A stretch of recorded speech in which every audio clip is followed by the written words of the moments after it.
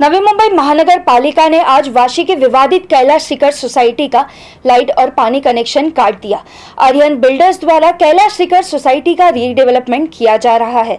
हालाँकि यहाँ के 30 दुकानदार और कुछ रहवासी बिना एग्रीमेंट रीडेवलपमेंट का विरोध कर रहे हैं। कार्रवाई के दौरान यहाँ भारी पुलिस बंदोबस्त मौजूद था। देखिए रिपोर्ट। नवी मुंबई वासी की कैलाश शिखर सोसाइटी में आज से न लाइट रहेगी, न पानी सप्लाई होगी। अरिहंत बिल्डर्स की शिकायत पर मुंबई महानगर पालिका ने आज भारी पुलिस बंदोबस्त के बीच यहाँ का लाइट और पानी कनेक्शन स्थायी तौर पर काट दिया।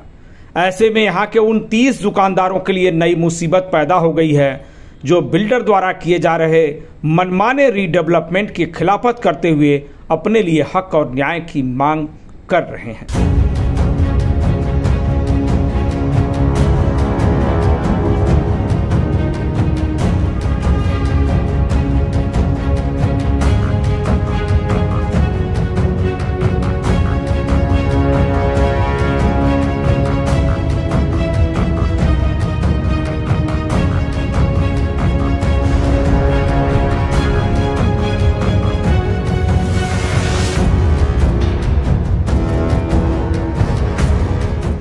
बताना ज़रूरी है कि कैलाश शिखर सोसाइटी का पुनर्विकास अरिहंत सुपर स्ट्रक्चर को सौंपा गया है।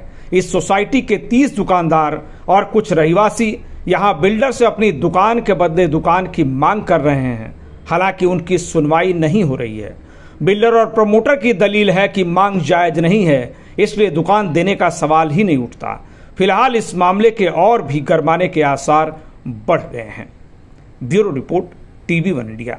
Latest updates और ताज़ा तरीन खबरों के लिए टीवी वन इंडिया लाइव को सब्सक्राइब कीजिए और नोटिफिकेशन पाने के लिए बेल आइकॉन को दबाना मत भूलिए।